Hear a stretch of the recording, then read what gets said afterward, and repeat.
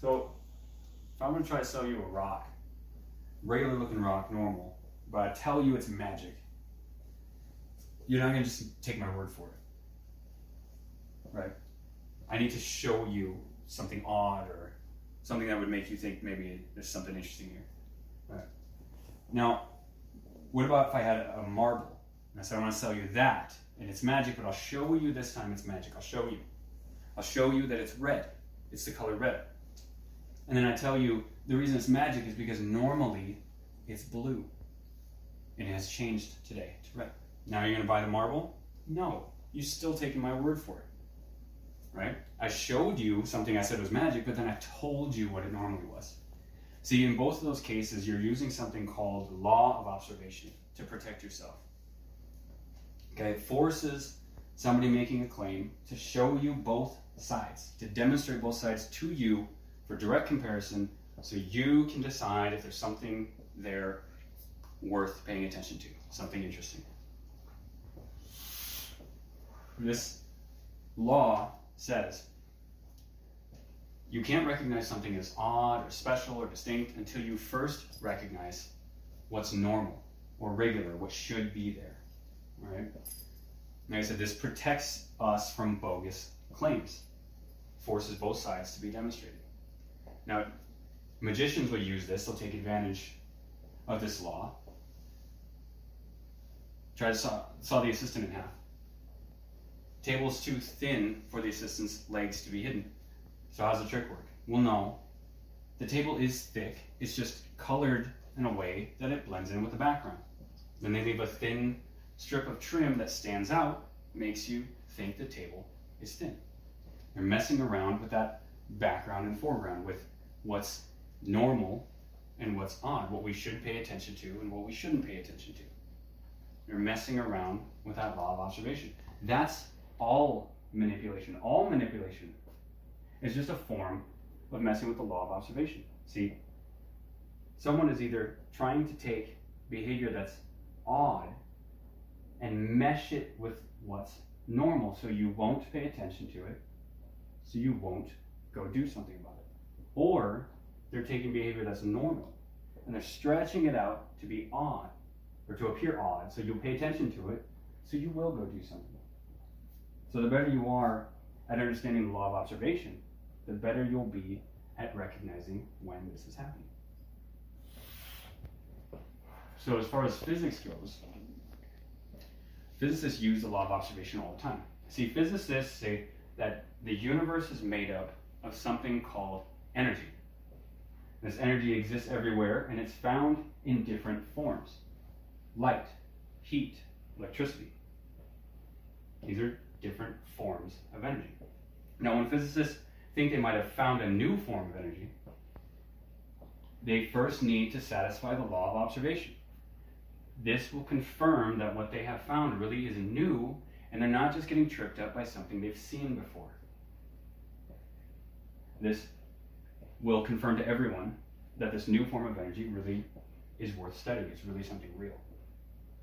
So, how do they do that? They take all the forms of energy that they know and understand and are familiar with, and they demonstrate those as the normal part of the law, the regular, the background, what we're familiar with. Then they take this new form of energy and they demonstrate how oddly it behaves compared to what's normal, to what's regular. This confirms to everyone that what they have found really is a new form of energy, and now they can begin studying it. Now they can figure out what it is, how to use it, all that stuff. Okay. But what happens if you believe that you have found all forms of energy and you want to study them together? You don't just want to study one at a time. Well, before we study anything, we first need to satisfy the law of observation. Otherwise, there may not be anything real to study. So, how do we do that? Well, we take all the forms of energy we want to study, we put them over here, the odd side of the law. Remember, law of observation says whatever we're studying goes on the odd side, the odd behavior side. And we have all energy over there because that's what we want to study. All energy. Well, if that's the case, then what's left to put on the normal side? The, the one we're supposed to demonstrate is background, familiar, where we start, what we know.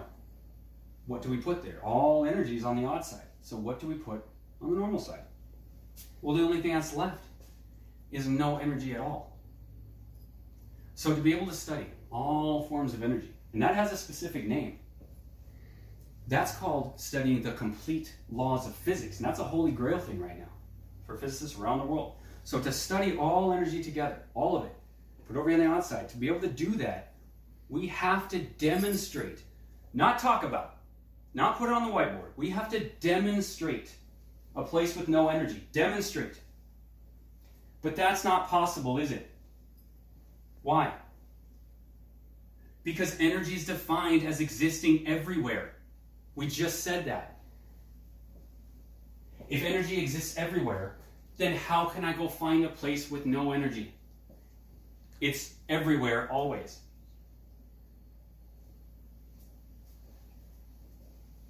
Therefore, the law of observation cannot be satisfied. We cannot study all forms of energy together. We cannot study the complete laws of physics. It's not possible. And I don't mean it's not possible to complete them.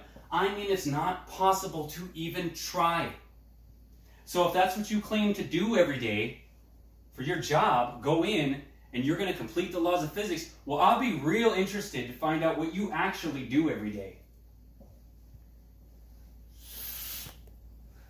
See, but that's not the problem. Energy can exist everywhere. That's fine. Energy can be defined as energy. That doesn't matter. Just because energy is self referential and the laws of physics ultimately must be self referential, that's not the problem. What is the problem? See, I don't care how many IQ tests you've taken, I don't care who you surround yourself that tells you you're a genius every day. I don't care how many things you shot into space and then caught it again. Do you know the answer to this question? What is the real problem with self referential laws? Obviously, they still work, we still have everything. So, what's the problem?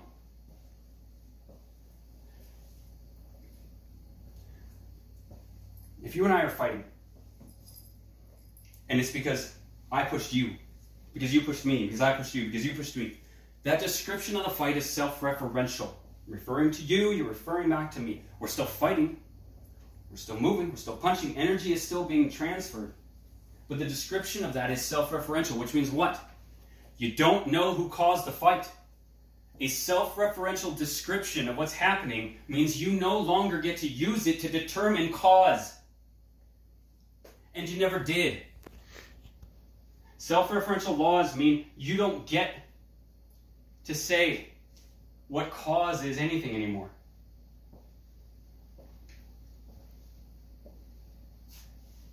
That's the real problem with self referential laws. Is that now that you've seen this explanation, and this has no holes, this has no debatable points, you can try.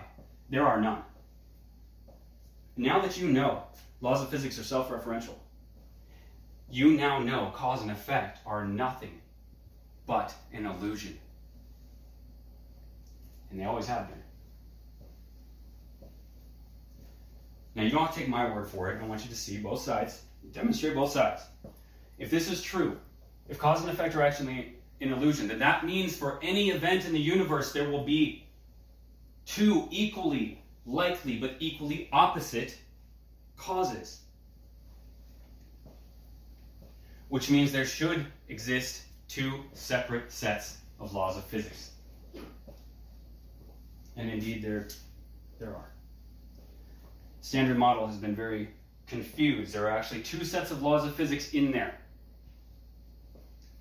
So here's how you see it. You model the universe as four physical dimensions. Get rid of time, that's just a perception anyway. Four physical dimensions correspond to light, electricity, magnetism, and gravity. Yes, we will combine them, but I don't want you to just take my word for it. Start here and see it yourself. You take those four forces, dimensions, whatever you're going to call them. Now we're going to split them up into two sets based on behavior. We're going to put the photon, the electron, the proton, and the graviton here. We're going to put light waves, voltage waves, matter waves, and gravity waves here. and we're going to call them the laws of particles and the laws of waves, the laws of position, the laws of motion, where you are and how fast you are going. And you will not be able to see them at the same time. They will reference each other, so they'll always satisfy the law of observation. The only thing you have to give up is your idea of causation. Two sets of cause from two sets of laws. Now, there is more to talk about. Earth's magnetic field might not even be here much longer. But before we do, there's one thing that I know I'll never figure out. I don't know if anybody else ever will either. How a YouTube video of a guy pacing back and forth in his living room. Won all the Nobel Prizes and changed the course of history. That one I know